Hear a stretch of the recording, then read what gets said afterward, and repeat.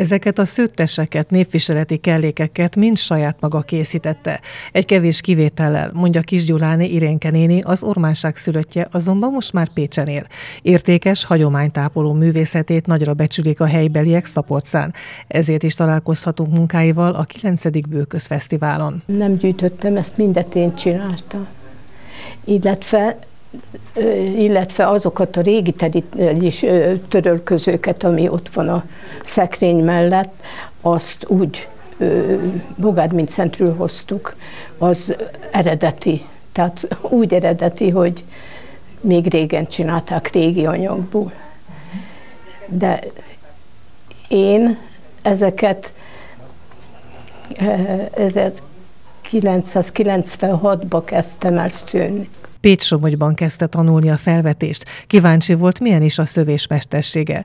Egy szövőszéket kapott akkor a férjétől, emlékezik vissza Irénke néni. A férjem dolgozott, köműves volt, és mondta, hogy a munkájáért nem kér pénzt, adják neki a szövőszéket.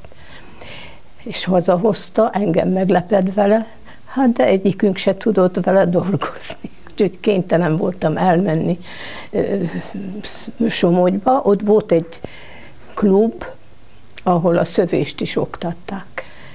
És ott az alapokat megtanultam, de tovább nem jutottam, mert, mert komolyabb dolgokat, ilyen mesterfogásokat nem alkalmaztak, csak simán az alapokat.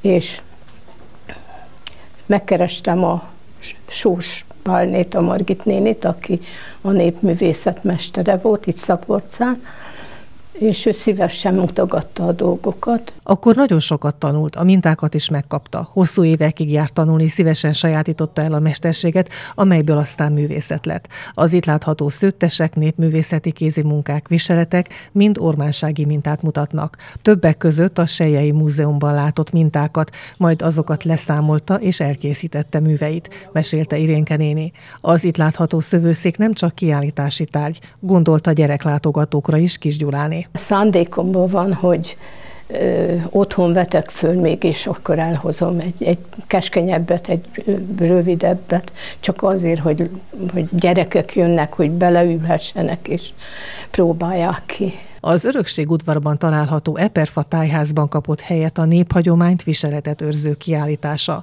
Mindez pedig a 9. Bőközfesztiválon, az Ormánság legnagyobb összművészeti eseményén. A tárlat augusztus 25-ig megtekinthető.